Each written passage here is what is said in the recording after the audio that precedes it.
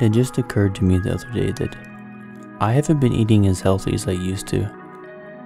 Five years ago, I used to eat mainly only vegetables, fruit, and quite a bit of lean meat.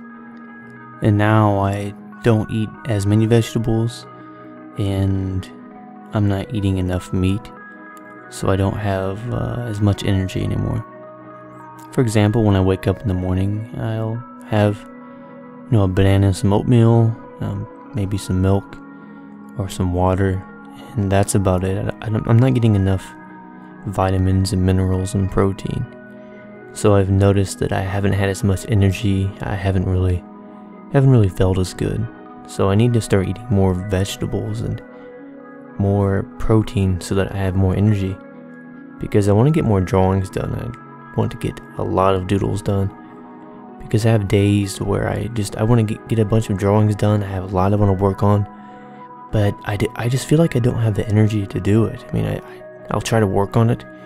I'll be drawing for a couple hours and then I just suddenly feel extremely sleepy.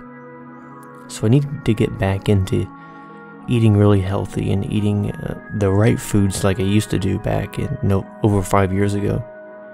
And this was a point in my life where I was doing a lot of powerlifting, I was doing sprinting, and so I was really dedicated to my diet.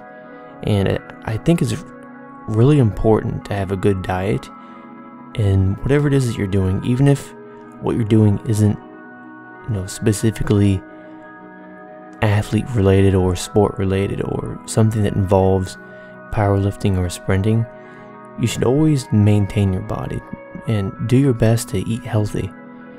And that's going to reflect on other other areas of your life such as your friendships, um, how you feel every day, and just how you go about carrying yourself in life. And so, if you, if you go about life not feeling good and you're unhealthy, you don't have the energy to do anything, um, it's going to affect your friendships and everything else as well. So, I need to start eating better so that I can get more drawings done and so that I can be more creative because I know that a few years back, I've, I mean, I've gotten a lot better at drawing. I've improved drastically at it. But I feel like there's just something missing there. There's just a little something that isn't quite there. And I think it's my diet. It has to be that because I used to be a little bit more creative. You know, I had to have so many more ideas about things to where now I wake up in the morning and don't feel as good. I don't, don't have as much energy. Um, and sometimes I have days where, you know, like I said earlier, I'll go to draw and after about only two hours, I'm sleepy and I just want to lay down.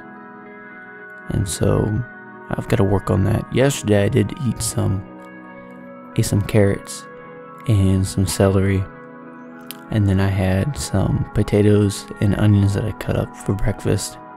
And I cooked those and a lot of people think that eating healthy is extremely expensive, but it's actually not. It just depends on what you buy. And by eating a lot of it, just like washing it and eating it raw, you don't have to spend so much time cooking and doing all this unnecessary stuff. So, yeah, definitely need to eat better. But I'm working on it, and as I improve my health and my diet, I'll be bringing more drawings to everybody. So, looking forward to that. More doodles and more stippling and everything else. So, I'm gonna go ahead and make myself some breakfast, eat me some food, and if you enjoyed this drawing, give it a like and share it with your friends. And I'll see you in the next video. Thank you for watching, and have a great day.